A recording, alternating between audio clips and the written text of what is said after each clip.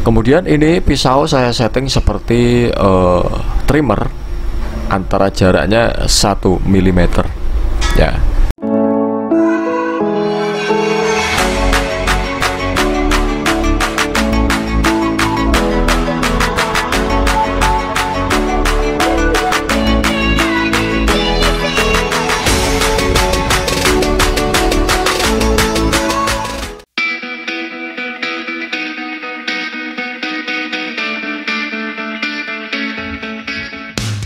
Assalamualaikum warahmatullahi wabarakatuh. Kembali lagi di channel Rizal Kat Cukur Ganteng Senusantara. Oke para master di mana pun anda berada Kali ini kita akan bikin konten lagi ya. Oke guys para master di mana pun anda berada Dan ini saya tunjukkan ya Di situ cara pemasangan kawatnya seperti itu. Kemudian Nah setelah kawat terpasang Kemudian kita pasang bagian uh, pisau yang kecil yang paling bawah seperti itu karena ada ada dua titik ya untuk menyambung dengan kawatnya. Jadi seperti itu. Pastikan pemasangannya sudah benar. Kemudian setelah benar-benar pas ya kita pasang bagian pisaunya yang paling bawah atau yang paling lebar Nah, kalian lihat baik-baik ya bagaimana caranya untuk menyetel pisau cordless atau pisau clipper yang benar ya.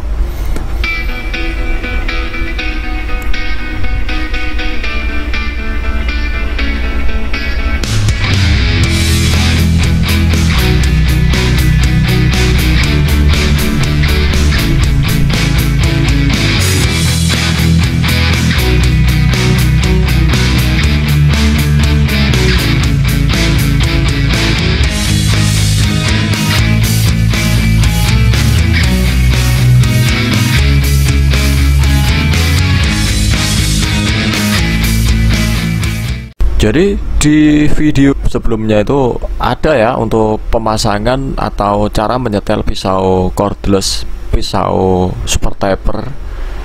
Dan masih ada yang banyak yang bertanya ya tentang bagaimana cara menyetelnya. Sebenarnya kalian bisa tengok di buku panduannya.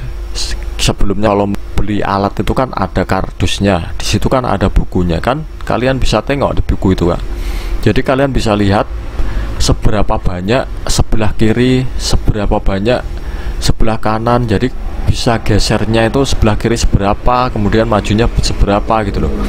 Jadi kan kalian bisa melihat di buku panduannya itu. Jadi buku panduan itu kan sudah sesuai pabrikan.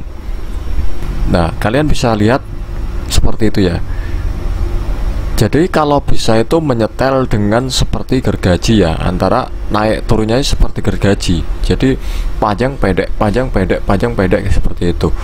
Jadi kalian ingat untuk sebelah kirinya itu biasanya untuk panjangnya itu sejajar. Jadi tidak masalah. Yang paling kiri itu memang sejajar. Nah seperti itu ya. Nah antara nomor satu satu dua. Nah ya kalian lihat ya kelihatan ya nah, kita zoom sedikit ya. Nah. Nah itu kan sejajar kan? Setelah mati kan? Ya kan? Setelah mati sejajar. Jadi pas matinya itu harus sejajar gitu loh maksudnya. Nanti setelah hidup otomatis kayak gergaji. Naik turun naik turun naik turun seperti itu. Ya sudah jelas kan? Kemudian kita lumasi dengan titiknya ada lima ya jadi tidak digeser. Jadi kita kasih yang depan tiga kemudian yang sebelah kanan sebelah kiri. Jadi ada lima titik.